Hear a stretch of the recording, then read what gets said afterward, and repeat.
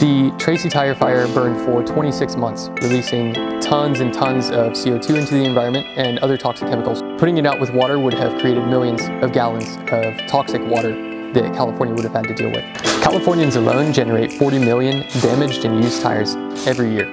These tires can be used to make the AstroTurf on a playground, so when kids fall they don't get hurt.